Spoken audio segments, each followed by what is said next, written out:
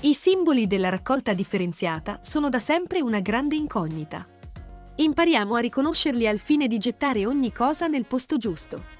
Quando si parla di simboli della raccolta differenziata, si intendono quei disegni che si trovano sulle confezioni di cibo e su altri prodotti. Simboli dei rifiuti dove questi andranno gettati, ma che spesso risultano essere di difficile comprensione.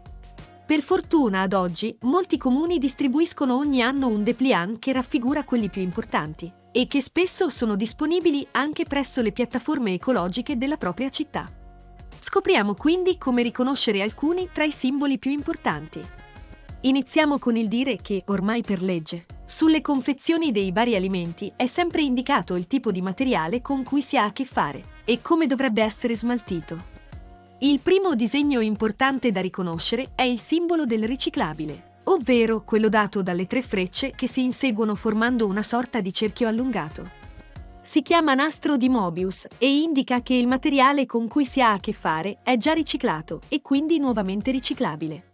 Sempre parlando di frecce, se le tre formano un triangolo significa che prima di buttarle è consigliato appiattirle. Il numero che si trova all'interno indica invece il tipo di materiale che è stato usato per realizzarle. Da 1 a 6 il materiale è riciclabile, il 7 indica invece che non lo è.